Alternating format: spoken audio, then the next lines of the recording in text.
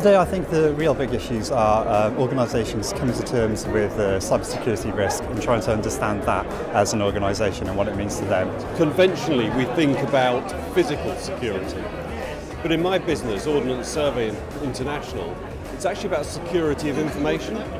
Because if we can't secure our information and enable it to be supplied in a secure way, then our business can't work effectively into the future. Technology is everywhere now, whether it's uh, you know five-year-olds playing with iPads or it's ubiquitous, it's just everywhere in all society. It's educating everybody so that they demand security in the same way that, say, the automobile industry went or the um, aeroplane industry went, where things weren't secure at the beginning, but then the consumers demanded it.